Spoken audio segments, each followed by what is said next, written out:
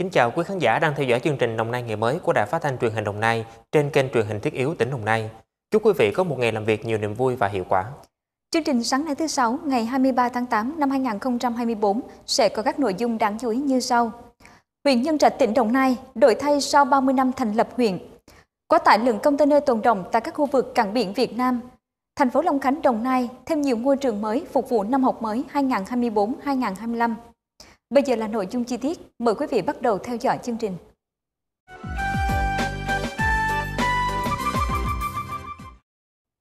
Như tin đã đưa, hôm qua tại trụ sở Trung ương Đảng, Tổng Bí thư Chủ tịch nước Tô Lâm, trưởng ban chỉ đạo tổng kết một số vấn đề lý luận và thực tiễn về công cuộc đổi mới theo định hướng xã hội chủ nghĩa trong 40 năm qua ở Việt Nam, đã chủ trì phiên họp thứ tư của ban chỉ đạo. Tổng Bí thư Chủ tịch nước Tô Lâm khẳng định, báo cáo tổng kết 40 năm đổi mới là đầu vào hết sức quan trọng cho việc xây dựng dự thảo các văn kiện trình đại hội lần thứ 14 của Đảng, trong đó có báo cáo chính trị là báo cáo trung tâm. Tổng Bí thư Chủ tịch nước đánh giá cao nội dung đã được tổng kết, hệ thống với 5 kết quả nổi bật, trong đó đã hệ thống làm rõ sự phát triển lý luận của đảng ta về đổi mới theo định hướng xã hội chủ nghĩa, xây dựng và bảo vệ Tổ quốc xã hội chủ nghĩa qua 40 năm đổi mới. Đánh giá làm rõ thành tựu hạn chế trong thực tiễn xây dựng chủ nghĩa xã hội ở Việt Nam – Tổng Bí thư Chủ tịch nước mong muốn các thành viên ban chỉ đạo thống nhất nhận thức về bối cảnh mới đang mở ra kỷ nguyên mới, kỷ nguyên vương mình của dân tộc Việt Nam sau 40 năm tiến hành công cuộc đổi mới, từ đó có những đổi mới mạnh mẽ hơn nữa về hình thức và nội dung báo cáo.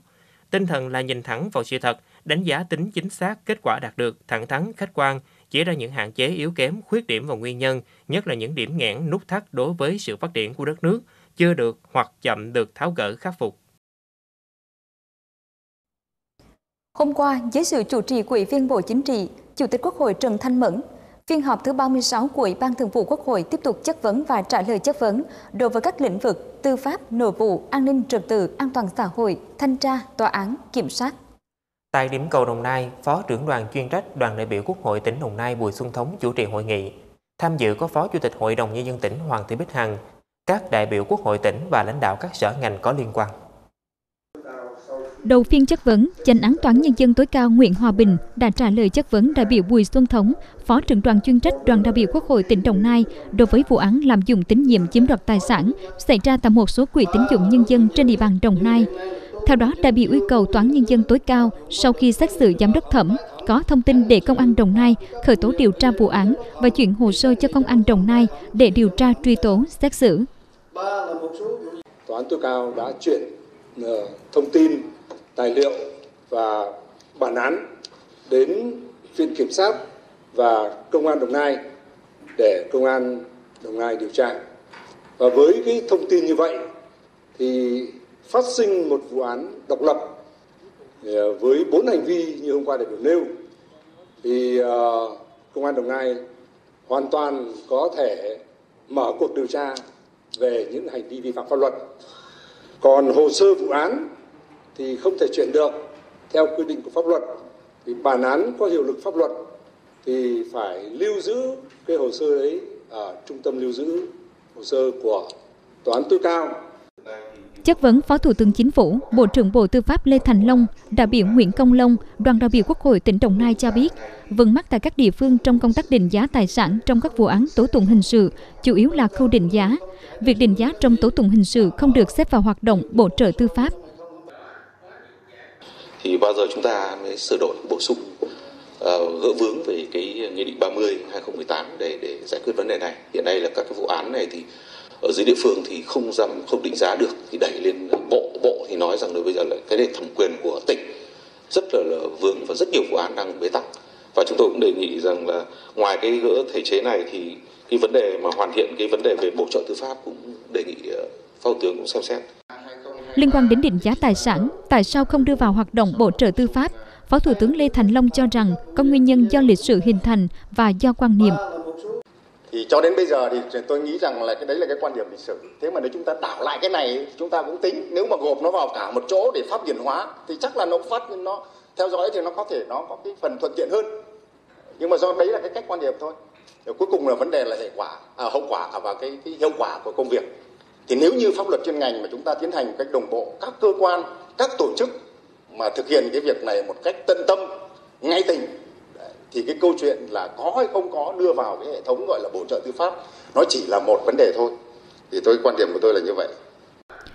Phát biểu bế mạc phiên chất vấn và trả lời chất vấn, Chủ tịch Quốc hội Trần Thanh Mẫn đề nghị chính phủ, Tòa án Nhân dân tối cao, Viện Kiểm sát Nhân dân tối cao, các bộ trưởng, trưởng ngành tiếp thu tối đa ý kiến của các đại biểu Quốc hội, tiếp thu thực hiện quyết liệt, đồng bộ, toàn diện các nghị quyết Ủy ban Thường vụ Quốc hội về giám sát chuyên đề và chất vấn, đồng thời tập trung khắc phục kịp thời, đầy đủ, hiệu quả các tồn tại, hạn chế trong từng lĩnh vực. Tin trong tỉnh Đồng Nai, Thực hiện chương trình tiếp xúc cử tri đại biểu Hội đồng Nhân dân tỉnh Đồng Nai sau kỳ họp thứ 18 và đại biểu Hội đồng Nhân dân huyện Thống Nhất sau kỳ họp thứ 14. Hôm qua, đồng chí Thái Bảo, Ủy viên Ban Thường vụ tỉnh ủy, Chủ tịch Hội đồng Nhân dân tỉnh Đồng Nai cùng các đại biểu Hội đồng Nhân dân tỉnh, tổ đại biểu Hội đồng Nhân dân huyện Thống Nhất đơn vị số 1, số 3 đã có buổi tiếp xúc cử tri xã Hưng Lộc, xã Lộ 25, huyện Thống Nhất. Tại buổi tiếp xúc, đa số các cử tri đã phản ánh kiến nghị liên quan đến lĩnh vực đất đai như công tác cấp đổi giấy chứng nhận quyền sử dụng đất, chuyển đổi mục đích sử dụng đất, tình trạng cấp nhầm thửa, lấn thửa vẫn chưa được giải quyết dứt điểm, tình trạng ngập úng mỗi khi mưa lớn ảnh hưởng đến cây trồng đời sống người dân. Phát biểu tại hội nghị, Chủ tịch Hội đồng Nhân dân tỉnh Đồng Nai Thái Bảo cho rằng các ý kiến của cử tri nêu lên rất xác đáng, thực tế. Liên quan đến lĩnh vực đất đai mà bà con cử tri bức xúc, Chủ tịch Hội đồng Nhân dân tỉnh Đồng Nai đề nghị huyện Thống Nhất tiến hành rà soát lại toàn bộ hồ sơ gặp gỡ người dân. Cái nào giải quyết được cho dân phải làm ngay, cái nào chưa giải quyết được hoặc còn vướng mắc thì trả lời thỏa đáng cho dân hiểu. Về dự án nâng cấp mở rộng tỉnh lộ 769, Chủ tịch Hội đồng Nhân dân tỉnh Đồng Nai Thái Bảo cho biết, đây là dự án trọng điểm kết nối cảng hàng không quốc tế Long Thành. Hiện nay, Ban Quản lý Dự án tỉnh Đồng Nai đang tiếp tục hoàn thiện các bước để thực hiện dự án. Dự án vẫn tiếp tục thực hiện triển khai theo nghị quyết Hội đồng Nhân dân tỉnh Đồng Nai. Thưa quý vị, trong không khí hân hoan kỷ niệm 30 năm thành lập huyện Nhân Trạch, tỉnh Đồng Nai, 1 tháng 9 năm 1994, 1 tháng 9 năm 2024, những ngày này, Đảng bộ, chính quyền và nhân dân trong huyện Nhân Trạch đã nỗ lực thi đua lập thành tích chào mừng sự kiện trọng đại này. Trong 30 năm qua, Đảng bộ, chính quyền, nhân dân huyện Nhân Trạch đã nỗ lực khai thác những tiềm năng, lợi thế của địa phương để chuyển đổi từ sản xuất nông nghiệp lạc hậu trở thành huyện công nghiệp, thương mại dịch vụ có tốc độ tăng trưởng đứng thứ nhì trong tỉnh. Cơ cấu kinh tế của huyện đã chuyển dịch mạnh mẽ đúng định hướng công nghiệp, thương mại dịch vụ và nông nghiệp. Đến nay, trên địa bàn huyện đã thành lập 9 khu công nghiệp và một khu tiểu thủ công nghiệp địa phương, thu hút 477 dự án FDI đầu tư với tổng vốn trên 11,2 tỷ đô la Mỹ 174 dự án trong nước với số vốn trên 66.000 tỷ đồng, giải quyết việc làm cho 130.000 lao động. Hiện nay tỷ trọng công nghiệp xây dựng chiếm 81%, gấp 16 lần so với năm 1994. Tại huyện Nhân Trạch như chúng ta biết trước đây thì nó là một cái vùng biệt lập à, nằm ngoài đây. Mặc dù đó là một cái mảnh đất anh hùng à, là cái vùng đệm giữa thành phố Hồ Chí Minh và sân bay Long Thành. Và trong những năm gần đây là uh, chương trình của uh, tỉnh của huyện nhà cũng đã uh, nối kết uh, các cái đường giao thông để hướng lên Long Thành và từ đó cũng xây dựng các cơ sở hạ tầng. Tôi thấy phát triển rất là là nhanh và đó là dấu hiệu rất đáng mừng. Tương lai của huyện Nhân Trạch cũng sẽ lên thành phố uh, xứng tầm với những thành phố khác. Hiện trên địa bàn huyện Nhân Trạch, nhiều công trình trọng điểm quốc gia đã và đang tiếp tục triển khai thực hiện như đường cao tốc Thành phố Hồ Chí Minh Long Thành Dầu Dây kết nối với khu công nghiệp Nhân Trạch, đường cao tốc Bến Lức Long Thành, đường 25C kết nối đường vành đai 3, đường vào cảng Phước An, hứa hẹn nhiều tiềm năng phát triển. Hiện nay Nhân Trạch nằm ở trong vùng kinh tế trọng điểm phía Nam và là các cửa ngõ vào thành phố Hồ Chí Minh và sân bay Long Thành. Và đặc biệt là cái vùng kết nối giao thông trọng điểm giữa miền Đông Nam Bộ và miền Tây đó là thể hiện qua các đường cao tốc hơn nữa là cái giao thông kết nối với sân bay Long Thành. Đây là một trong những yếu tố để phát triển kinh tế xã hội của Nhân Trạch. À, trong thời gian tới thì Nhân Trạch đang phấn đấu đến năm 2030 à, theo cái nghị quyết 09 của Ban Thường vụ tỉnh ủy năm 2023 thì Nhân Trạch từng bước trở thành một cái đô thị tri thức để làm sao nâng lên chất lượng cuộc sống của người dân và từng bước trở thành một cái đô thị loại 2 đến năm 2030. Năm 2016, huyện Nhân Trạch được Trung ương công nhận đơn vị đạt chuẩn nông thôn mới. Hiện nay trên địa bàn huyện có thị trấn Hiệp Phước là đô thị loại 5, 11 xã được công nhận xã đạt nông thôn mới nâng cao. Có thể nói sau 30 năm kể từ ngày thành lập huyện, Nhân Trạch hôm nay đã thay đổi toàn diện từ thành thị đến nông thôn. Không dừng lại với những thành tựu đạt được, Đảng bộ, chính quyền và nhân dân huyện sẽ tiếp tục đoàn kết, tạo ra sức mạnh tổng hợp để thực hiện thắng lợi các mục tiêu, nhiệm vụ chính trị trong những năm tiếp theo.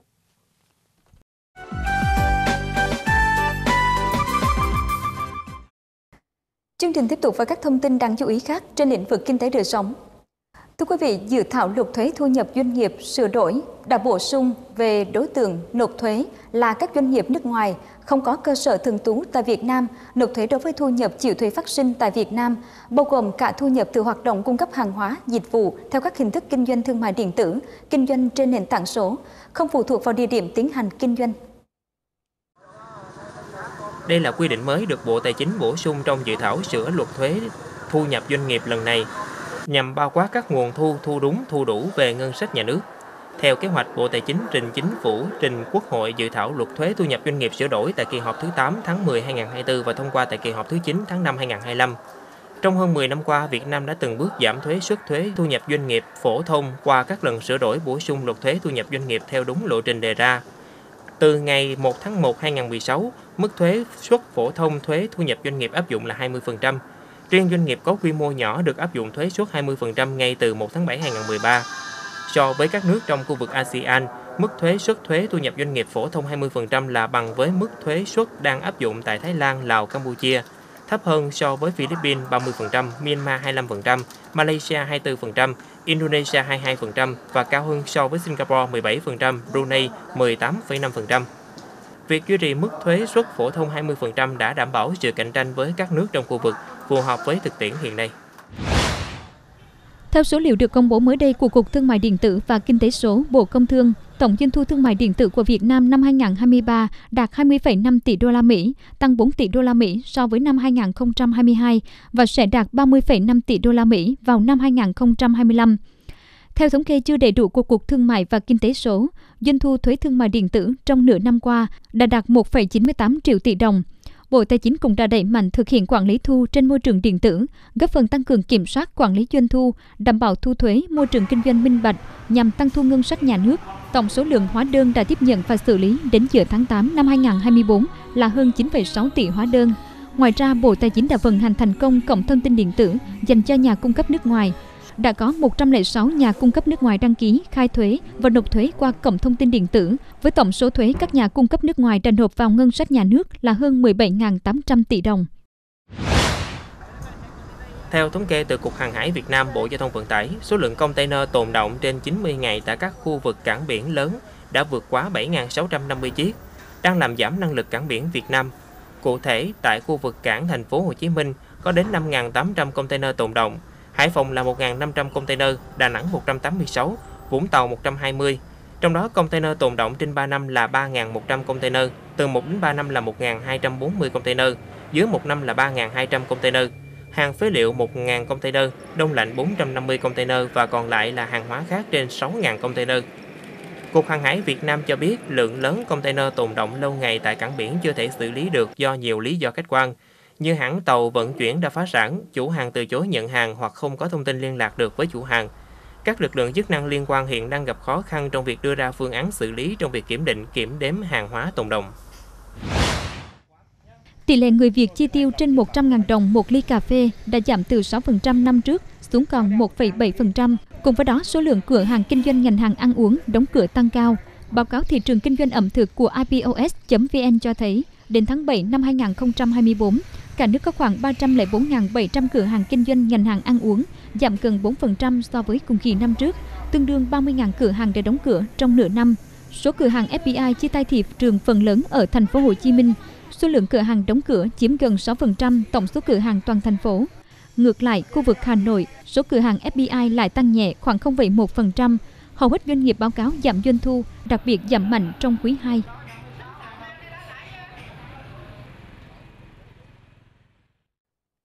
Liên quan đến thị trường Tết đoàn viên 2024, thưa quý vị, mùa kinh doanh bánh trung thu 2024 đã bắt đầu bước vào cao điểm. Năm nay, các cơ sở làm bánh handmade cũng đã khởi động sớm nhằm gia tăng sức cạnh tranh với các thương hiệu lớn bằng nhiều chiến lược kinh doanh mới. Sau đây là ghi nhận tại thị trường thành phố Biên Hòa. Những năm gần đây, ngày càng có nhiều người tham gia làm bánh trung thu handmade. Mặc dù để làm ra một cái bánh trung thu handmade đảm bảo vệ sinh chất lượng là không hề đơn giản, từ chọn nguyên liệu, nghiên cứu công thức, rồi từ khâu làm vỏ bánh hay xay nhuyễn, sên, xào nhân bánh. Trong số này, những người hiện đang có các cơ sở kinh doanh bánh ngọt, bánh kem đang nắm lợi thế lớn. Vì sao mình ờ, ờ, lại ờ, chọn là kinh doanh dòng sản phẩm trung thu này? Tại vì mình thấy là theo xu hướng của người dân Việt Nam thì cái lễ trung thu, lễ Tết trung thu hiện tại nó đang là xu hướng khá là quan trọng đối với người dân Việt Nam hiện nay nên là mình quyết định là mình sẽ uh, sản xuất những cái dòng bánh trung thu này để mang tới những món quà ý nghĩa cho mọi người. Do bánh handmade không có chất bảo quản, hạn sử dụng không dài, chỉ rơi vào khoảng 10 đến 15 ngày, nên các cơ sở không làm sẵn nhiều mà hầu hết đều làm theo đơn. Mỗi chiếc bánh trung thu nhà làm được bán với giá dao động từ 30 đến 80 ngàn đồng, chưa bao gồm chi phí đóng hộp. Hiện nay do sức cạnh tranh cao nên đòi hỏi mỗi cơ sở làm bánh trung thu đều phải có những chiến lược cạnh tranh khác nhau nhằm nâng tầm chất lượng bánh từ việc đa dạng chủng loại, vị, nhân cho đến mẫu mã và đảm bảo chất lượng vệ sinh an toàn thực phẩm. Bên em mang đến được ngoài những cái vị nhân mà truyền thống thì năm nay bên Đài Nam sẽ tung ra những cái sản phẩm uh, cao cấp và heo thì hướng đến cho khách hàng về sức khỏe và cái vị nhân thì nó không quá là ngọt vừa ăn. Dạ, còn về cái lợi thế thứ hai đó là khách hàng. Đài Nam bên em thì đã uh, ra đời được 17 năm và có rất nhiều kinh nghiệm về làm bánh. Và khi mà em tung ra các dòng sản phẩm về bánh trung thu thì em cũng uh, tự tin là mình sẽ mang lại cái uh, chất lượng. À, đối với bếp của mình á thì cái mà để cho khách quay lại á thì sẽ là giá cả hợp lý, vệ sinh và nhưng quan trọng là nó phải ngon chất lượng đến với khách hàng và khách hàng mỗi năm sẽ quay lại. Cái mục đích của um, tụi mình á, là sẽ đem đến cho ờ, khách hàng mọi sự mới lạ. Mỗi năm á, thì bên mình sẽ đổi mẫu mã thiết kế hợp, mỗi năm sẽ mỗi khác và không có năm nào sẽ đụng hàng với năm nào hết. À, tạo cho khách hàng một mới, một cái gì đó mới mẻ. Hiện nay, các cơ sở kinh doanh bánh trung thu handmade cũng đang tập trung tìm kiếm các khách hàng sĩ đến từ các doanh nghiệp công ty Bên cạnh đó, chiến lược tiếp cận thị trường qua kênh bán lẻ cũng đã được thay đổi. Bên cạnh bán trực tiếp, nhiều cơ sở cũng đã chủ động quay dựng các clip làm bánh rồi đăng lên các nền tảng mạng xã hội tìm kiếm các khách đặt hàng online. Với cách làm này, một tệp khách hàng lớn đã xuất hiện và khoảng cách địa lý được mở rộng ra trên toàn quốc, chứ không còn bó buộc ở những khu vực gần điểm bán bánh như trước.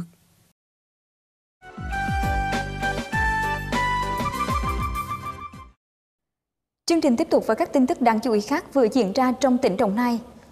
Sở Văn hóa Thể thao và Du lịch tỉnh Đồng Nai chiều qua phối hợp với Ủy ban nhân dân thành phố Biên Hòa và công ty trách nhiệm hữu hạn một thành viên đầu tư phát triển Bửu Long ký kết quy chế phối hợp trong công tác quản lý, bảo vệ và phát huy giá trị di tích danh thắng Bửu Long.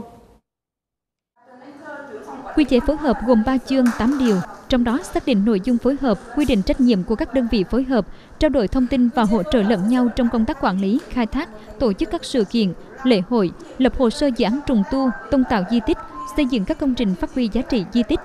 đồng thời nghiên cứu, hội thảo khoa học, bồi dưỡng chuyên môn, nghiệp vụ, tuyên truyền quảng bá, bảo tồn và phát huy giá trị di tích danh thắng Bửu Long.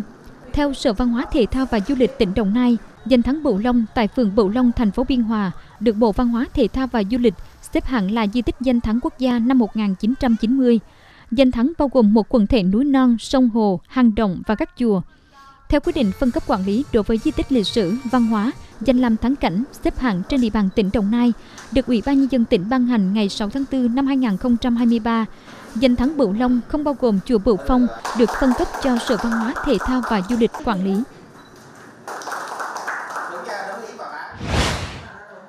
Liên đoàn Lao động tỉnh Đồng Nai vừa triển khai kế hoạch tuyên truyền và tổ chức các hoạt động hưởng ứng Ngày hội toàn dân bảo vệ an ninh Tổ quốc trong đoàn viên người lao động năm 2024. Theo đó, Liên đoàn Lao động tỉnh đề nghị các cấp công đoàn xây dựng kế hoạch tuyên truyền và tổ chức các hoạt động hưởng ứng Ngày hội toàn dân bảo vệ an ninh Tổ quốc rộng rãi trong toàn thể đoàn viên người lao động.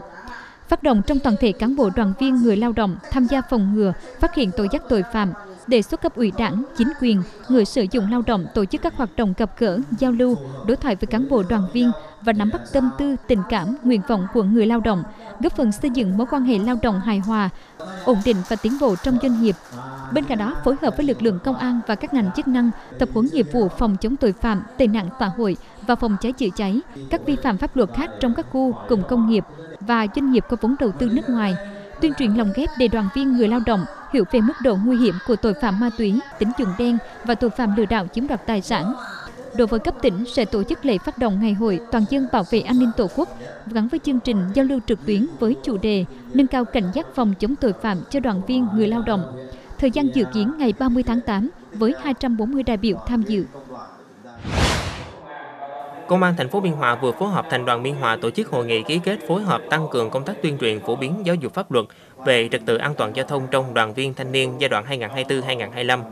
Các nội dung gồm phối hợp tuyên truyền phổ biến các chủ trương đường lối của Đảng, chính sách pháp luật của nhà nước về trật tự an toàn giao thông, phát huy vai trò trách nhiệm của đoàn viên thanh niên trong việc giữ gìn trật tự an toàn giao thông,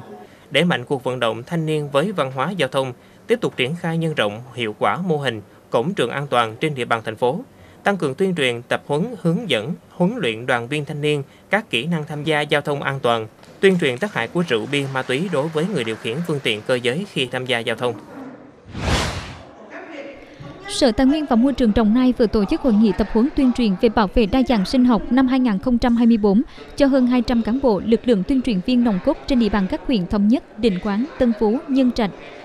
Tại hội nghị, các đại biểu đã tập huấn hai chuyên đề phổ biến các nội dung pháp luật về bảo tồn đa dạng sinh học, bảo tồn động vật hoang dã, bảo vệ di sản thiên nhiên, vai trò của đa dạng sinh học trong phát triển bền vững.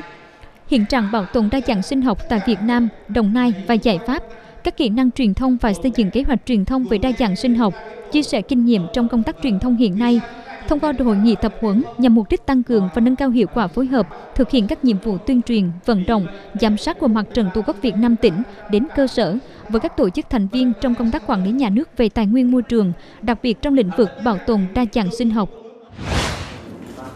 Ủy ban Nhân dân huyện Trắng Bom vừa tổ chức sơ kết 6 tháng đầu năm việc triển khai thực hiện đề án 06 về phát triển ứng dụng dữ liệu về dân cư, định cư, định danh và xác thực điện tử, phục vụ chuyển đổi số quốc gia giai đoạn 2022-2025, tầm nhìn đến năm 2030.